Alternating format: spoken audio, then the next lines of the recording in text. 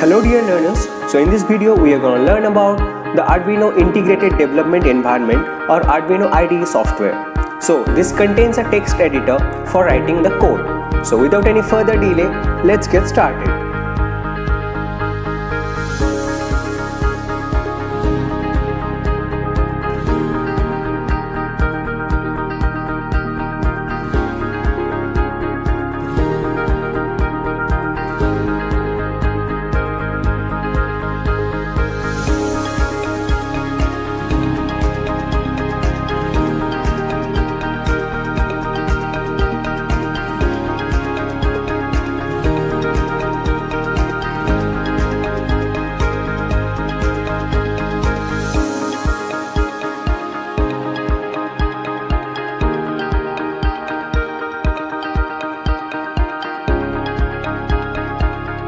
So once the installation process of Arduino is getting completed, we'll get this sort of icon in our desktop and once we click this icon, we'll get a window which is known as the Arduino sketch window.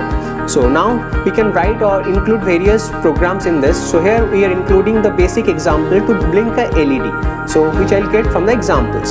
So now as you can see, this is the code to blink a LED and this code actually turns on the LED for one second and then turns off for 1 second and this goes repeatedly. Arduino programming is based on few key things. The main part of Arduino Sketch is its two built-in functions. So those are void setup and void loop. So void setup is technically a function that you create at the top of each program. Inside the curly brackets is the code that you want to run one time as soon as the program starts running.